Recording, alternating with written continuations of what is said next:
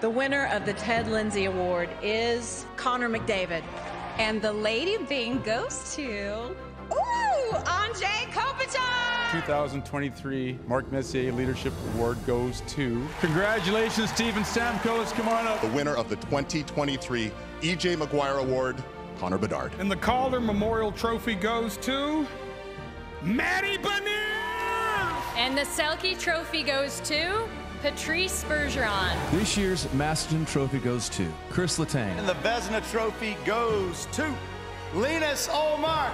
And the King Clancy Award goes to Mikael Backlund.